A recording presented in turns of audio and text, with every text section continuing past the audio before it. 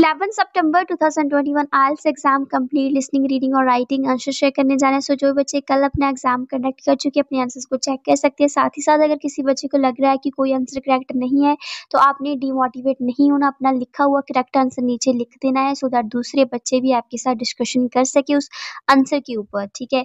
तो जो आंसर्स है वो स्टूडेंट्स के द्वारा ही शेयर किए जाते हैं।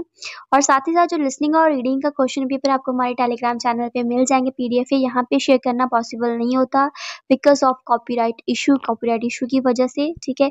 आप वहाँ पे जाके चेक कर सकते हैं और हमारे इंस्टाग्राम और टेलीग्राम पेज को फॉलो करना।